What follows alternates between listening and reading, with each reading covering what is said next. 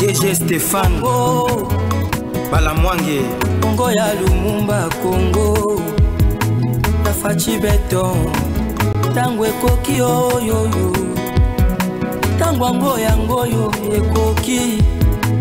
Tolandaka yango papa stéphane balamwange oyeye.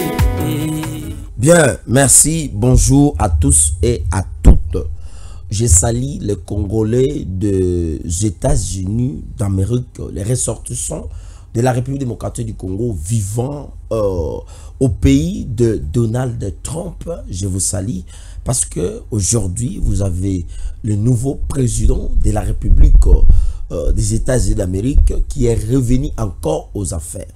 Est-ce que Donald Trump va toutefois essayer de continuer sa collaboration alors la politique de Joe Biden ou alors il va changer de politique Mais toutefois là, je suis en train de saluer également les Congolais qui vivent au Canada, qui vivent à Paris, à Marseille, à Bordeaux, en Belgique, en, à la Hollande, euh, au niveau euh, de l'Allemagne. Je salue les Congolais Banso, Bazali na Afrique du Sud, Bozali Mésopotamie, na Mbote. Sans oublier celle que euh, nous aimons beaucoup, une personne je crois que tu ça mbote na mikoleza koya. Alors, je suis monsieur Marabobola, tozali wana ponako informé mino. Après la visite de ministre des Affaires étrangères rwandaise à Goma, une délégation de M23 attendue à Kinshasa dans les jours à venir. Voilà. Ça, c'est le premier sujet. La deuxième sujet, euh, la Russie demande à la RDC et au président Félix Tshisekedi d'accélérer l'application sur les, les moratoires de la peine de mort. Là, c'est le pays, notamment de Poutine, n'est-ce pas, qui demande au président de la République d'accélérer le mécanisme, alors le procédé sur l'application de peine de mort dans notre pays. Pourquoi la Russie a-t-elle demandé à ça? Est-ce qu'il y a encore un encore secret, il y a encore une chose que la Russie n'a pas voulu dévoiler? Voilà pourquoi elle veut passer à travers cet accord. Donc on met quand même euh, mesdames et messieurs, euh, autre sujet, je pense que après sa disculpation, voilà, Nicolas Kazadi promet alors, promet alors de poursuivre toute personne qui l'ont, qui l'ont, qui l'ont alors euh, insulté, critiqué et parfois aussi à tort.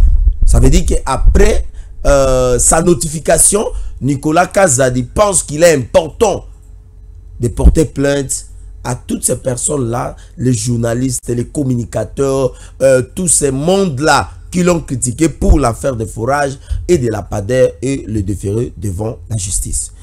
Je vous souhaite tous une bonne écoute de notre analyse politique, économique, sociale et sécuritaire. Et là, je nous amène directement dans la guerre euh, dans l'Est de la République démocratique du Congo. Après la participation, il y a ministre, il y a affaires étrangères, euh, na makambo etali en doko na niveau ya Goma. Biso nyonso tomonaki ndenge ministre ya affaires étrangères bayambaki avec honneur bayambi na basali bayambi na la police. Namoni gouverneur militaire chirimwami ya nord kivu azalaki. Namoni les éléments de la police ya sécurité. Euh, en tout cas moi personnellement na analyse na ngai moi je crois que est-ce que ce n'est pas ça déjà la voie de dialogue que le chef de l'État a ouvert? Est-ce que le fait que le ministre affaires étrangères na goma est-ce que ezali la voie que le chef de l'État a ouvert pour na koluka ko solo là non seulement avec les Rwandais mais aussi avec le M23? Pourquoi? Parce que une délégation il y a Rwanda oyo ezali composé na bande non non na batu ya M23. Bazali entendu na Kinshasa. Dans les jours à venir la délégation rwandaise bakoya na Kinshasa awawa après que ministre affaires étrangères akende na Goma basolola mpona kolandela makambo etali cesser les faits. Batala évaluation nango banani bazali kovioler banani baza kocontinue kovioler et puis batala quelles sont les conséquences positives ya makambo etali euh, cesser les faits? Oyo états-unis d'amérique balukaki d'amérique pardon balukaki un peu ya koluka koimposer entre les FARDC mais également avec le M23 mais d'un côté les M23 baboya respecter yango mais le même M23 baza koloba ke mikolo eza koya une délégation composée na responsable ya M23 baza entendi na Kinshasa. Peuple congolais place ozali oza na états-unis ozali na buenos aires ozali na belgique ozali na chine. Max pouvez nous aider ozali na chine sachez que dans les jours à venir dans les jours à venir une délégation de m23 bakozala na kinshasa. Mais est-ce que cette délégation viendra à kinshasa mpo na chef de l'état mpo na kokutana na jilite sumwina mpo na ambassadeur ya états-unis oyo accrédité na kinshasa ou bien bakoya tourisme? Landa s'il vous plaît. Omoni yango ntango tolobaka eke na politique ezali toujours important. Ya kozala pembeni ya roi. Ya kopesa mokonzi makanisi ya kitoko. Ntango chef de l'état alobaki eke jamais jamais alors aussi longtemps que ya kozala président ya république démocratique du congo avec le m23. Biso tomonaki ke ezalaki kanda ezalaki émotion ezalaki alors déception. Ya komona makambo nyonso kagame asali chef de l'état mais là le m23 baannonce dans les jours à venir que baza koya na kinshasa bakutana na chef de l'état. Je nous rappelle je nous rappelle une chose. Lorsque le chef de l'état a été élu le 15 janvier 2019 il a subi, non, non, il, il, avait fait ce qu'on appelle la prestation de serment le 24 euh, janvier 2000, 2019. Il y avait une délégation du M23 ici à Kinshasa. Oui. Délégation M23 à Kinshasa. Hôtel Kutu Babanda ko vanda nango na Kinshasa. Ezalaki hôtel ya James Kabarebe. Tango musée ayaki na Kinshasa alors président de la République, James Kabarebe, il avait trouvé une parcelle ici à Gombe. Il a construit un hôtel. Et cet hôtel de place Oyo, délégation ba M23 ba Vandaka na Kinshasa. On kakaye que M23 sera na Kinshasa, certainement c'est vrai. Ils étaient à Kinshasa. Mais malheureusement, ils n'ont pas été réussis par le chef de l'État. Pourquoi chef de l'État y a Maga Bangote? La première raison, c'était que les M23 exigeaient un nombre important du membre du M23 auprès de ceinture de sécurité de Félix Tshisekedi. Et en dehors de cela, les M23 demandaient à ce que bakota pewapi na gouvernement. bakota bango na la police bakota bango na armée. Bapesa bango bapete ya bagénéraux ya bacolonel ya bamajor et c'est comme ça que le chef de l'état amonaki eke l'agenda du M23 ezalaka agenda ya malamu raison pour laquelle le chef de l'état avait refusé toute audience officielle du membre du M23 vivant ici à Kinshasa après son élection en 2019 le président n'avait pas accepté alors de recevoir la délégation du membre du M23. Mais là parce que la guerre dans l'Est continue alors yako panza yako boma yako kata. La délégation du M23 s'annonce encore à Kinshasa. Chers compatriotes, est-ce que ezali important que chef de l'État ayamba bato yoyo bazako boma bandeko na biso na est? Est-ce que c'est important que Tshisekedi a solo na M23? Est-ce que c'est important que le chef de l'État a discuté na M23? Alors que chef de l'État a bien bien que les gens qui sèment la terreur les gens qui sèment la barbarie, les gens qui sèment les hostilités, les gens qui tuent, qui pillent, qui surexploitent et qui font des gros dos, qui tapent la poitrine en ce qui concerne les problèmes de l'insécurité dans l'Est. Ce sont les membres du M23. Mais lorsque les M23, Bazali a annoncé que Mikoliza Koya, Bakoya na Kinshasa, na est-ce que le président Andimi Kokutana na battu à M23, chers compatriotes, est-ce que Bino Boza d'accord que le chef de l'État a Solana M23 Parce que la ministre de Bango et Affaires étrangères à Rwanda, quand je parle de ministre euh, des Affaires étrangères du Rwanda, ça veut dire qu'il est aussi le ministre des Affaires étrangères des membres du M23. Parce que Kagame est en train de soutenir les M23. Et lorsqu'il y a un ministre qui est envoyé par M. Kagame de venir à Goma afin de participer à une commission de ad hoc nous pensons que ce ministre représente non seulement le Rwanda, mais il représente aussi les membres de M23. Parce que le M23 sont soutenus par Kagame. Et dès lors qu'il y a un ministre qui est venu euh, euh, au Congo et à Goma, ça veut dire que ce ministre-là est là pour les intérêts du membre du M23 ainsi que Yakagame. Mais chers compatriotes, lorsque le chef de l'État a lobbyé que à Kosolo jamais, jamais, jamais alors pas le bandit du M23, c'est par rapport il y a comportement hypocrite au Ezali, il y a Batombo qui a M23.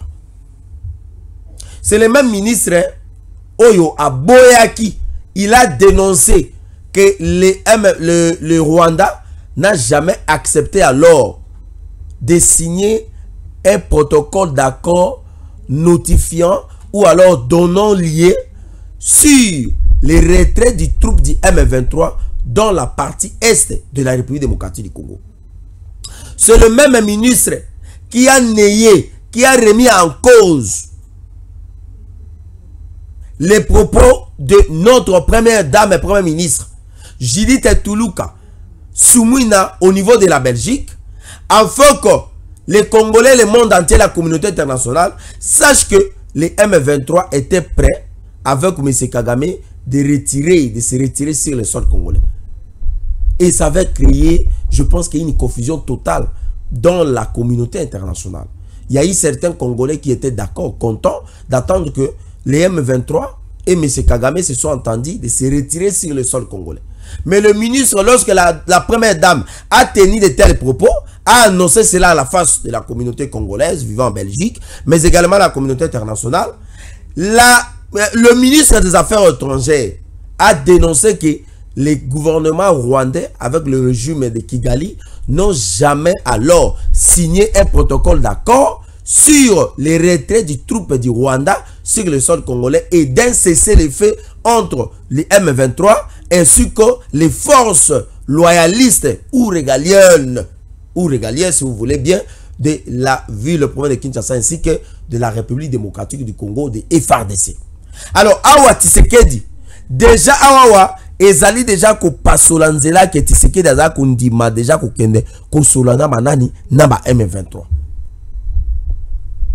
est-ce que vous êtes tout à fait d'accord que le président après que les m23 baboma après que les M23 va piller, avant que le M23 va afin, euh, euh, après que les M23 va violer plus de 8 millions de victimes. Il y a oh, maman baza victime et violence.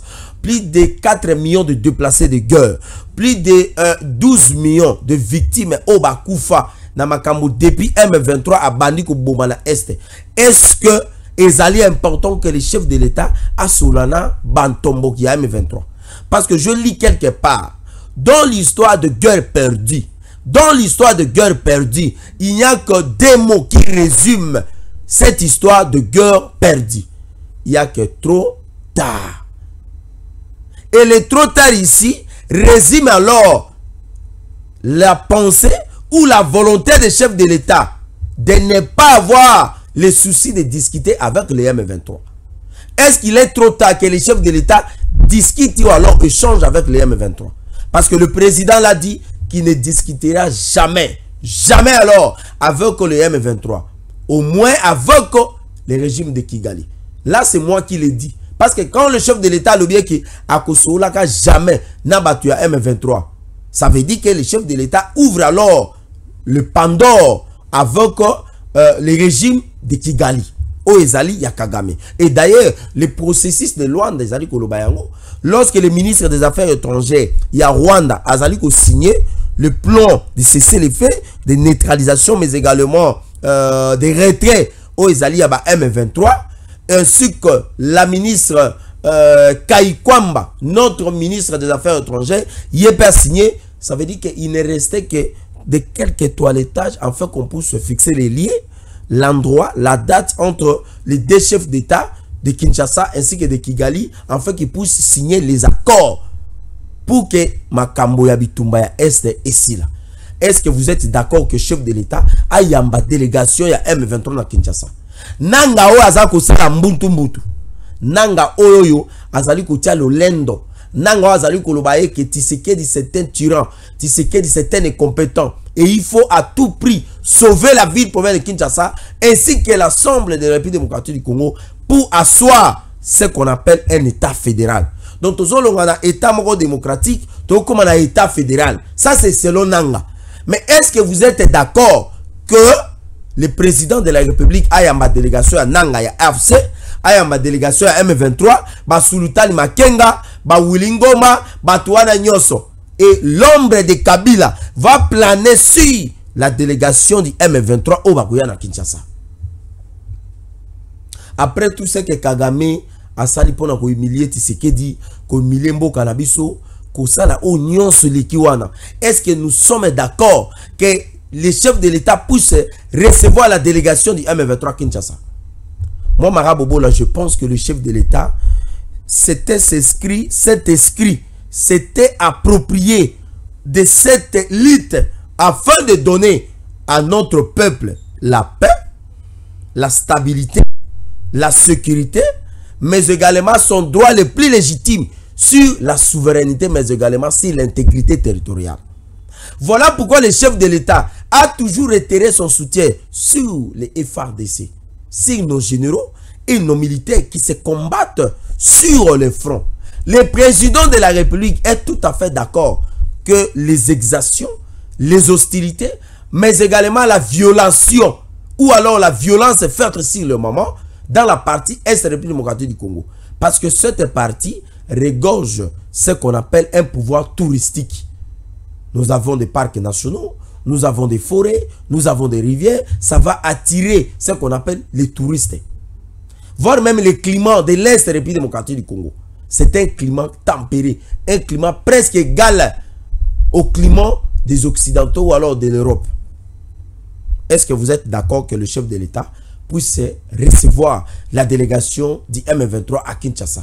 Mettez vos commentaires en bas de pages, notamment il y a il y a caméra nabiso ou alors il y a chaîne nabiso ya tango koki nous allons vous lire et permettre biso de comprendre souci nabino mais un vrai congolais un vrai congolais n'acceptera que n'acceptera pas que le chef de l'état aille en délégation il y a M23 et ça, c'est la politique de Kigali. Ça, c'est la politique du Rwanda.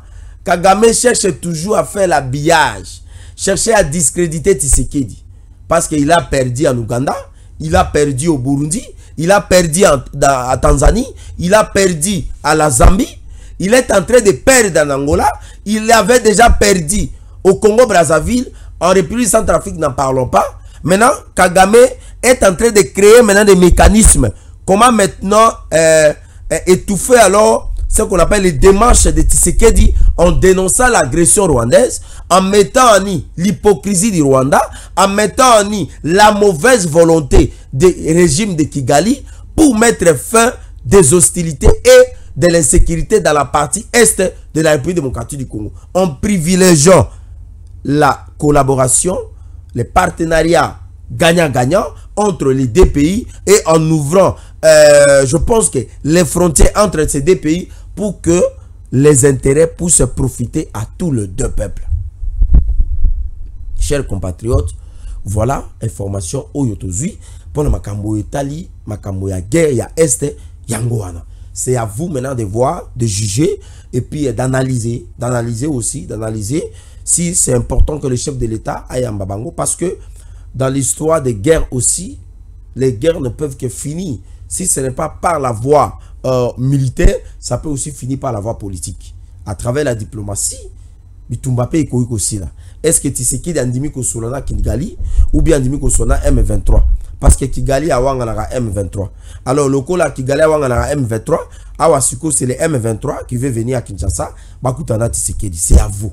Chaîne Oyo ezala loko la référendum to pe sarabino. Vous votez et nous nous allons donner notre point de vue na émission mosusu tokosala to répondre epa na chef de l'état parce que ya yokaka peuple congolais mwa mingi alors la russie demande à la République démocratique du Congo d'accélérer ma mesure oyo ezali euh, peine de mort.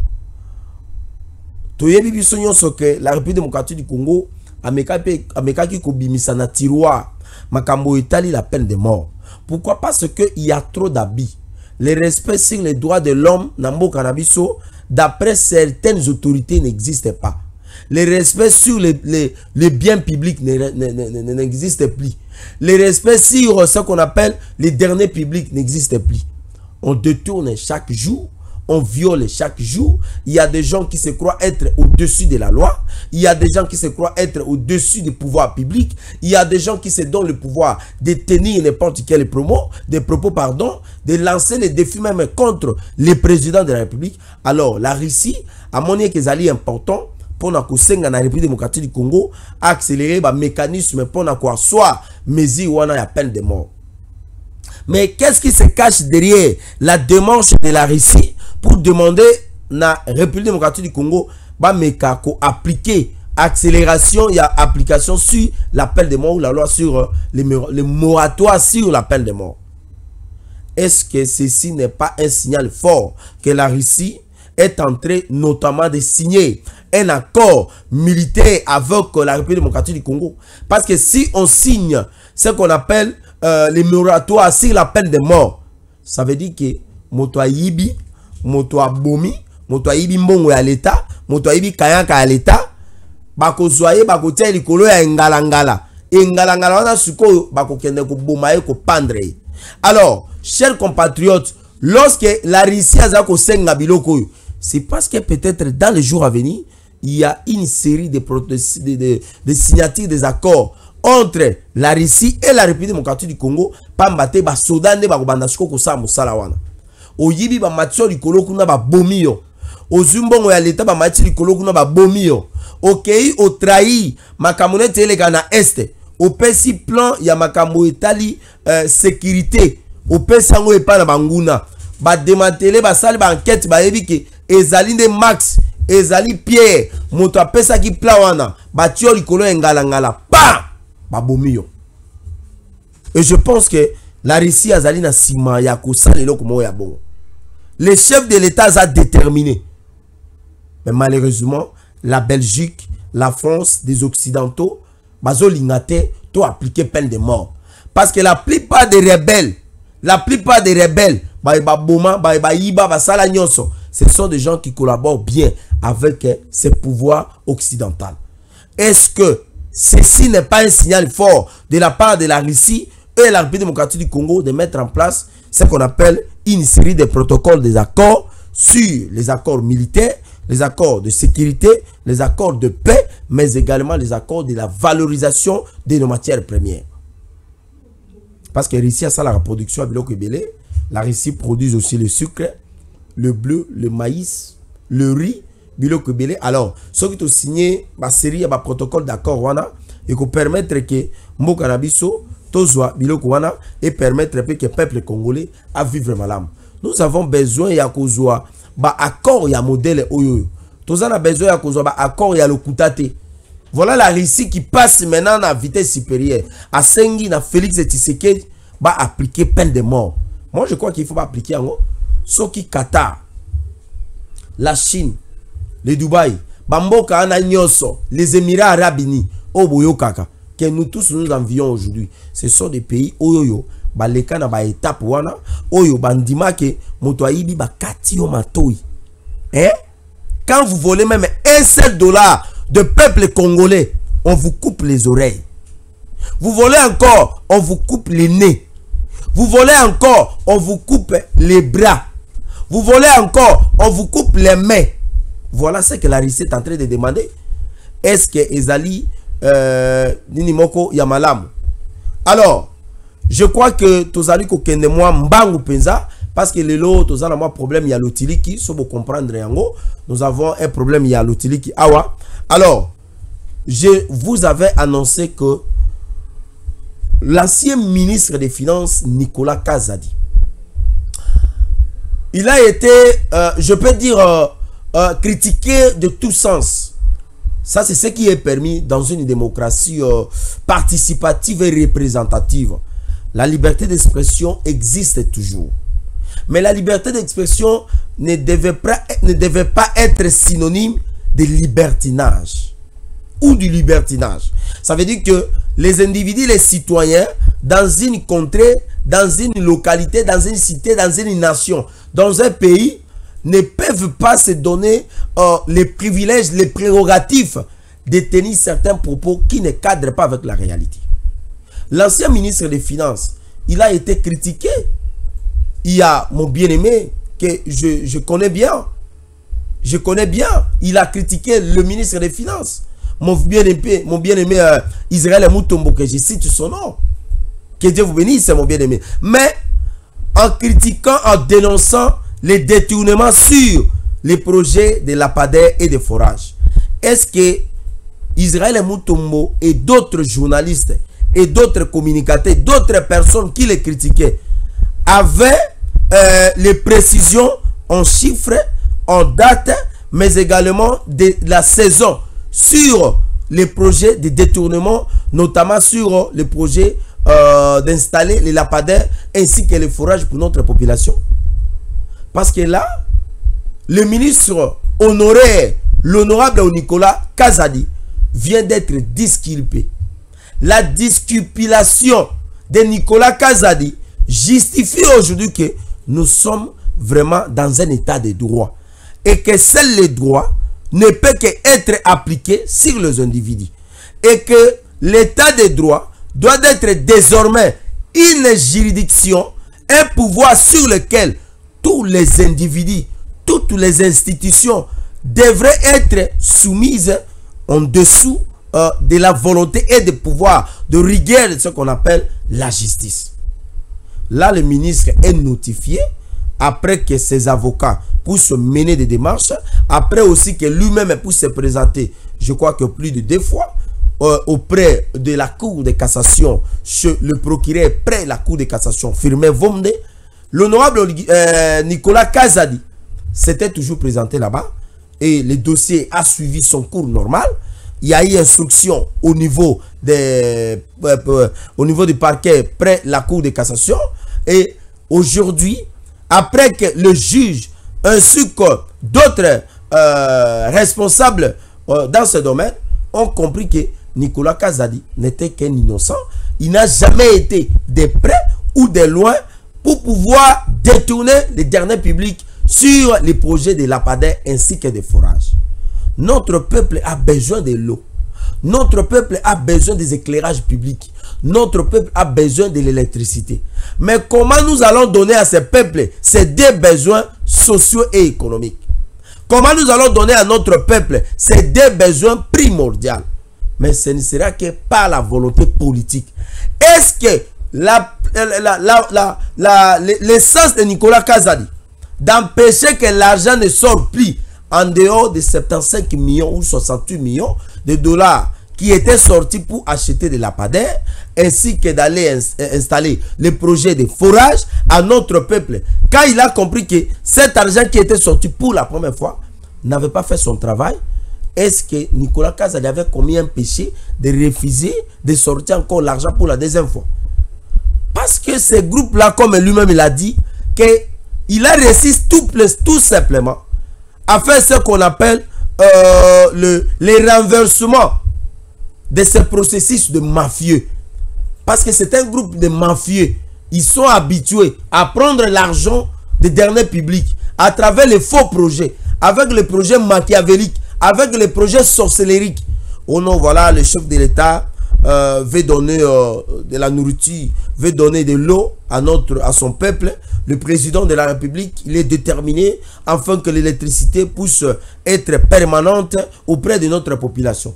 Mais en réalité, ils sont en train de monter des projets pour pouvoir détourner les derniers publics. Alors, si le ministre des Finances n'est pas du tout efficace, n'a pas la rigueur, et c'est comme ça que l'argent se dilapide dans l'espace et dans les heures.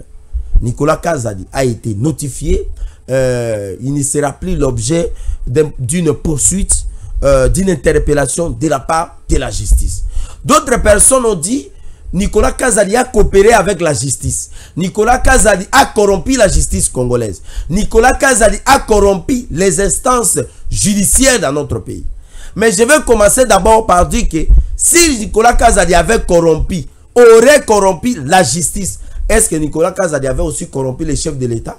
Parce que le président avait dit non seulement que c'était un père de famille, parce qu'on le critiquait parfois aussi à tort à la longueur des journées, mais Nicolas Kazadi a réalisé beaucoup de choses que la plupart de nos anciens ministres des Finances n'ont pas pu réaliser lors de leur passage à la tête du ministère des Finances.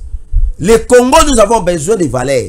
Et les valeurs que nous pouvons avoir, ce seront des valeurs comme l'intégrité, la servabilité, la loyauté, l'honnêteté, le respect, la rigueur, le travail, la ponctualité, afin que nous puissions faire avancer notre pays.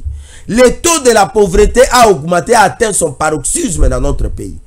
L'insécurité qui sévisse aujourd'hui dans la partie Est République démocratique du Congo. Nous avons des problèmes des étudiants. Les universités aujourd'hui produisent ce qu'on appelle les cerveaux vides. Les étudiants qui finissent les études aujourd'hui n'ont pas les capacités de réfléchir afin de donner des solutions équitables et vraies à notre population. Notre société aujourd'hui a des sérieux problèmes qui demandent à ce que nous puissions avoir des intelligences. Et ces intelligences, nous pensons que Nicolas Kazali est parmi ces gens-là. Vous allez me dire, non, Nicolas Kazali m'a corrompu. C'est faux. Nous avons eu à, à les rencontrer une fois lorsqu'il était ministre des Finances. On a compris que c'était un monsieur qui avait la volonté de servir la République. Nicolas Kazali n'a pas détourné là où il était partout. Au Togo, Nicolas n'a pas, pas, pas détourné. Aux États-Unis, il n'a pas détourné. En France, et Nicolas Kazali va détourner seulement l'argent des contribuables congolais, des mamans à Tembele, des Banama, il y a au pire, mais également il y a Batouatini Karapous. Nous pensons que le Congo doit devenir grand et le Congo doit aller en avant. Mais pour que nous puissions avancer, nous devons avoir des valeurs. Les valeurs comme les valeurs de Tshisekedisme. Les chefs de l'État retirent toujours son soutien vis-à-vis de ceux qui servent la République dans le sens du respect, mais également de, l'honnêteté, mais également de la vérité. Nous avons besoin de ces gens. Le président de la République ne peut pas collaborer avec des mafieux, avec des frappeurs, avec des chocoulets, ainsi que des voleurs. Lorsque nous, nous envions les Émirats arabes unis, la Chine, l'Inde, le Brésil, tous ces pays-là qu'on appelle les pays émergents, et les pays les plus avancés, tels que les États-Unis, le Canada, la France, l'Allemagne. Vous pensez que ces gens-là sont arrivés là-bas parce qu'ils étaient des Allemands, parce qu'ils étaient des Français, parce qu'ils étaient des Belges? Non. Parce qu'ils ont la, la, la, couleur blanche? Non. Mais c'est parce qu'ils ont mis ce qu'on appelle la volonté politique, ils ont mis le patriotisme, ils ont mis en avant l'intelligence, la métaphysique aussi de l'ingénierie, de l'ingénierie, pardon, dans les domaines industriels et partout dans la nouvelle technologie. C'est comme ça qu'ils ont pu à changer, à transformer les choses. Et aujourd'hui, notre pays, nous avons besoin de ces gens. Les Congo, nous dépendons seulement de ce qu'on appelle l'économie extractive. Notre économie, c'est une économie des Zingankouv. L'économie que nous utilisons aujourd'hui, c'est une économie archaïque qui date de l'époque coloniale. Vous venez avec les matières premières, vous donnez et on vous donne soit les câbles du courant, on vous donne soit les cahiers pour les, élèves, on vous donne soit, eh, je ne sais pas moi, les, les, les, véhicules pour la construction des routes, on vous donne un peu d'argent.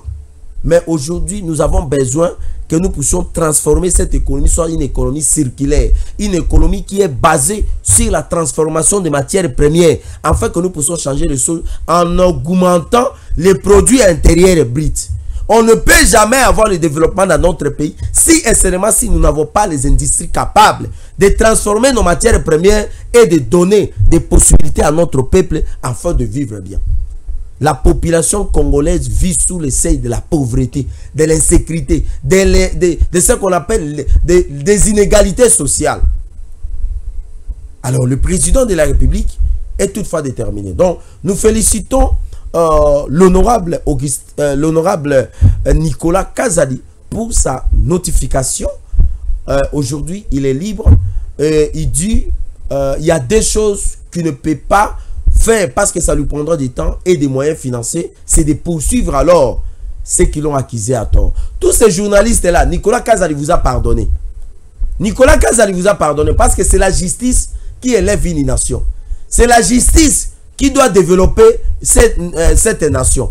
Et Nicolas Kazadi a dit qu'il n'a pas assez de moyens, il n'a pas aussi le temps afin de vous poursuivre. Donc, vous avez la chance. Alors, Congo Airways annonce les reprises ou alors la reprise de ces vols commerciaux commerciaux. Je crois qu'à partir du 10 novembre, euh, ils attendent leur euh, avion qui va venir, je crois que de l'Europe, euh, pour qu'ils puissent reprendre les activités. Le DG de cette entreprise, Norbert Sengamal, qui est en déplacement au niveau de, euh, de Paris, au niveau de, de la France, afin d'échanger avec euh, les partenaires, notamment de Airbus et d'autres compagnies, et vont dans le domaine de l'aviation, dans les transports aériens, qui étaient déjà des, des retours. Il pense qu'il est important de pouvoir relancer le projet sur la relance des activités au sein de Congo Airways. Alors, cette fois-ci, nous pensons que nous devons remercier le chef de l'État pour, pour son implication personnelle afin de voir que cette compagnie puisse se relancer. Parce que si aujourd'hui, la CNSS a accepté de mettre ses moyens financiers au sein de Congo Airways, c'est parce qu'ils avaient, euh, non, non, elle, elle avait accepté l'instruction du président de la République lors d'un conseil des ministres que l'un des partenaires de, euh, de la présidente du conseil d'administration de Congo Airways puisse mettre ses moyens pour la relance de cette compagnie. Et comme euh, euh, l'INSS, hier, aujourd'hui, la CNSS est aussi parmi les partenaires de Congo Airways, avait accepté de mettre un peu de moyens. Je crois qu'il y a des millions, plus de 52 millions, qui ont été déboursés pour achat des avions, le paiement des agents et cadres de cette compagnie, le paiement aussi des euh, des arriérés des, agents de cette compagnie, les paiements des loyers, euh, mais également d'autres taxes. Mais ce que moi je peux demander à ce nouveau DG, c'est de mettre un peu la rigueur. C'est de mettre un peu la rigueur et de mettre un peu la volonté. De mettre un peu euh, ce qu'on appelle le suivi. Que le suivi soit, soit, soit permanent. Et que les choses se passent selon les procédures des sociétés évoluant dans le secteur de l'aviation civile, mais également des transports aériens. Parce que si vous ne mettez pas la rigueur, je pense que euh, vous allez subir aussi le même sort que vos prédécesseurs. Mais je pense que vous êtes une bonne personne. Vous êtes quelqu'un qui maîtrise bien le secteur des transports aériens. Et je crois vraiment que vous allez faire quand même euh, euh, la différence. Parce que le chef de l'État attend revoir Congo Airways dans les airs. Le Léopard attend revoir Congo Airways dans les airs, mais également vos abonnés, pourquoi pas vos clientèles qui attendent de revoir que Congo Airways puisse se reprendre. Même avec un seul avion, reprenez d'abord. D'autres avions viendront. Alors, nous saluons tous ceux qui nous ont suivis. topesi mbote na biso epa na mama sophie kiboba mama mélanie na niveau ya canada topesi yo mbote nabosani te na nzela ya réalisation c'est le jeune pasteur pierre qui nous avait aidé à travers la réalisation. Nous avons été assistés par le nouveau euh, diplômé de la licence sur l'informatique max euh, KBC qui va présenter déjà sa défense. Je crois que ça sera demain le jeudi. Euh, nous lui présentons déjà nos félicitations dans les comptes des temps de Tango Koki bien avant. Nous pensons qu'une délégation de Tango Koki sera là pour l'accompagner parce que Tango Koki a enregistré alors un nouveau technicien euh, informaticien qui va alors venir avec la nouvelle intelligence afin que euh, Tango Koki soit encore servi ici c'est le professionnalisme na bachaîne mosusu akosala badébat mais je vous l'ai dit que ntango okoki awa c'est le professionnalisme. Mosala awa. Bravo epa na dg na biso stéphane balamwange. Franchement vous êtes un homme de talent vous êtes un homme euh, qui aime le professionnalisme vous êtes un homme qui aime son travail. C'est ça que j'aime avec stéphane balamwange. Lui il aime son travail. Déjà à 7h 8h il est déjà au lieu de travail. Déjà à 17h, 18h30, il est déjà là. Et quand vous l'appelez, déjà vous êtes où il vous dit, moi je suis toujours dans mon bureau. Donc nous le félicitons pour euh, sa volonté de pouvoir amener toujours les niveaux de ces chaînes hein, afin que nous puissions vous servir les abonnés de Tango Koki. Alors, je suis Monsieur Marabobola. Ça a été un grand plaisir de vous servir. Je vais saluer une personne. Je salue l'honorable Clotilde Lely de Mboujoumaï dans le compte de l'île des Perses, l'Union pour la démocratie et le progrès social, notre parti cher. Le parti cher de Deo Bizoub. Deo Bizoub a été accusé par euh, Monsieur Wapanga. Wapanga qui est un simple combattant qui va aller accuser un secrétaire général au niveau de la justice. Deo Bizoum ne va pas avoir peur de cette injustice. Seulement que nous voulons que la paix et la bonne organisation, la bonne administration puissent revenir au sein de notre parti politique.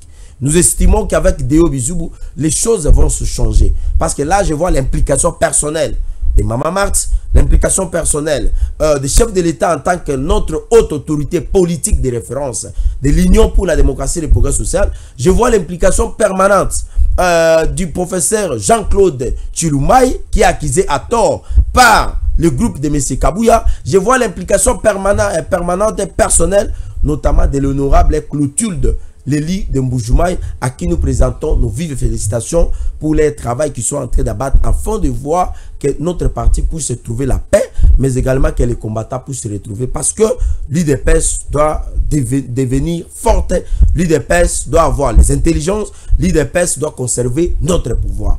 Je vous salue et bye bye. Ciao.